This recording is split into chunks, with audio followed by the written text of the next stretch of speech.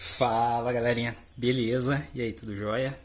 Fazendo esse vídeo rapidinho aqui, tô muito feliz que chegou mais algumas mudas para nós aqui de pitaia. Chegou a variedade Lua do Cerrado, que é aquela pitaia é, vermelha de polpa branca.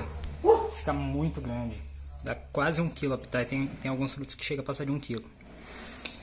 E a tão sonhada, esperada paloura Paloura do Equador chegou também. Essa pitaia eu tava louco para comprar ela, mas a muda tem um precinho meio salgado, né? Então esperei o momento certo. Tô aqui no sítio hoje, ó, sítio dos meus pais. Olha que vista linda que a gente tem aqui no sítio. Lugar maravilhoso, abençoado por Deus, né? Lá embaixo tem uma estufa que está descoberta, tem que estar tá reformando ela.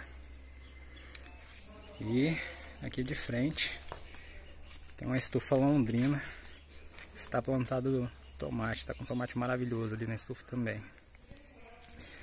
E a vista é sensacional. Muito lindo mesmo, né, gente? Traz paz.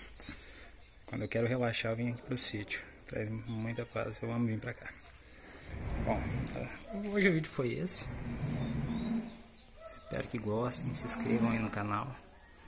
Em breve, se Deus quiser, teremos essas duas variedades aqui para já estar tá reproduzindo e tirando mais mudas e aumentando, né?